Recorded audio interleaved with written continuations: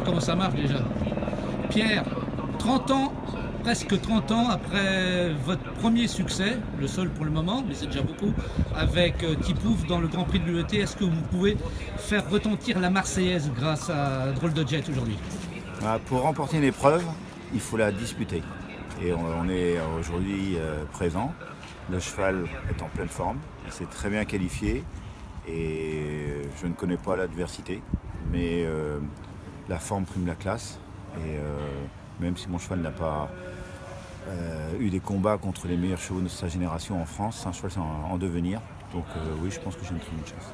Une place parmi les trois premiers vous satisferait? Oui, ça serait déjà un- un très très bon résultat. Merci Pierre.